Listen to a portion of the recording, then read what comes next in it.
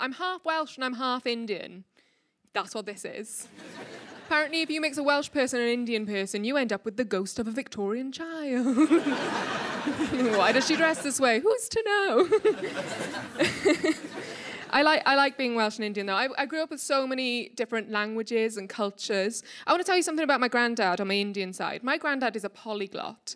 Uh, he speaks five languages. He, my granddad speaks Punjabi, Hindi, Urdu, Swahili, and English. English is his fifth language, and you'd never know it from speaking to him because he's so fluent.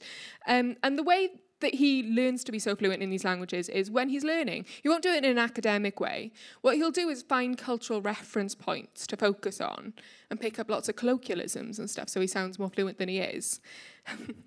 and in the 90s, my granddad got obsessed with the Fresh Prince of Bel Air.